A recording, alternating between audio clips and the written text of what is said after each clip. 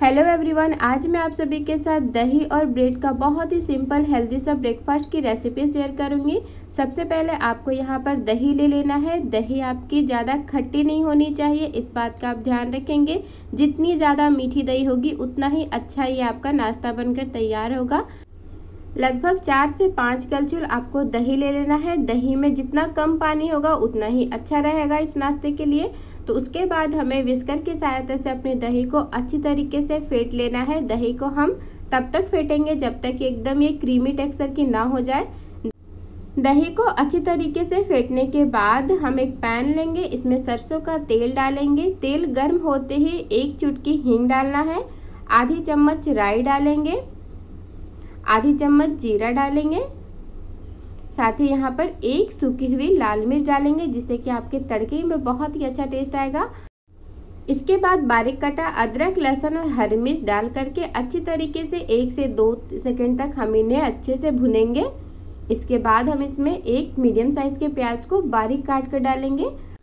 अब प्याज को हमें अच्छी तरीके से तब तक भूनना है, जब तक कि प्याज का कलर चेंज ना हो जाए। जैसे ही प्याज का कलर चेंज हो जाएगा, हम इसमें डालेंगे आधी छोटी चम्मच से कम हल्दी पाउडर, आधी छोटी चम्मच से कम लाल मिर्च पाउडर, आधी छोटी चम्मच से कम धनिया पाउडर, साथ ही गरम मसाला और आधी चम्मच हम यहाँ पर कश्मीरी लाल मिर्च डालेंगे।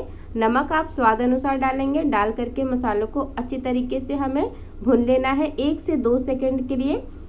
तो यहाँ पर मसाले अच्छे से भुन चुके हैं। जैसे ही मसाले भुन जाएँगे, गैस की फ्लेम को आपको ऑफ़ कर देना है। थोड़ा सा मसालों को ठंडा करने के बाद हम इसमें अपनी फेटी हुई दही मिलाएँगे। दही डाल करके मसालों के साथ अच्छी तरीके से मिक्स कर देंगे। एक से दो सेकंड के लिए अच्छे से मिक्स करेंगे।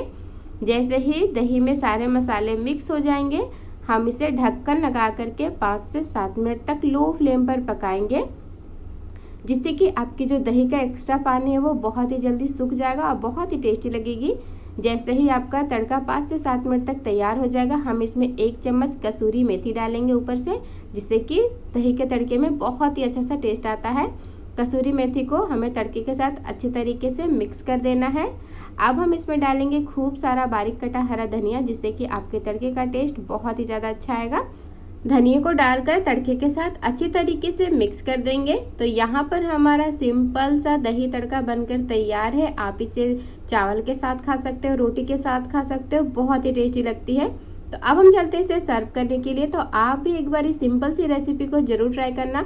बस एक बात की आप ध्यान रखना कि दही आपकी खट्टी नहीं होनी चाहिए, इस बात का आप ध्यान रखना। नहीं तो ये बहुत ही टेस्टी बनती है।